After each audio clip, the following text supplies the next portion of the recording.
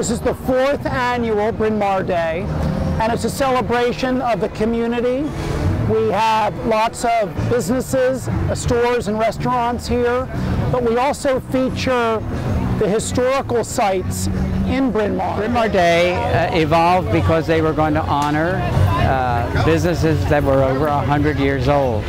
And as we are over 100 years old, as Bryn Mawr Trust, the Baldwin School, several of the churches, we were also included. But we are the oldest retail store still in operation in Bryn Mawr, but also in the whole main line. When people go home and they pull in their driveway and they pull in their house and they're, they're locked into their own little world, but they need to realize that there's a whole big world out there of things going on in the community. The main reason for all of this is to bring all the merchants and the community churches, schools in one venue that we all can be together, which we can introduce ourselves to new families that have been moving into the community, but also the older families that sort of forget that you're still here. We have Radio Disney, which is great. They get the kids jumping up and down and moving about and doing all sorts of fun things. And, and then the restaurants are here. The community's here. We have face painting and we have singers performing. So it's a really neat event to bring everybody together. Well, the petting zoo is, is sponsored by Ludington Library.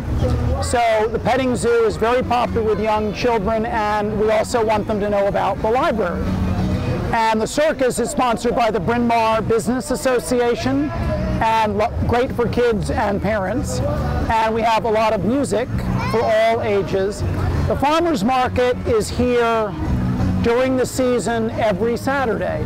This is the one Saturday during the year when we also have Bryn Mawr Day. But the farmers market is extraordinarily popular.